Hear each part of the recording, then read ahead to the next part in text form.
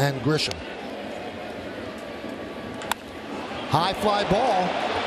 Deep right center. Cave back. He's on the track. He's at the wall. See ya! A home run into the Yankee bullpen. That breaks an 0 for 21 for Verdugo.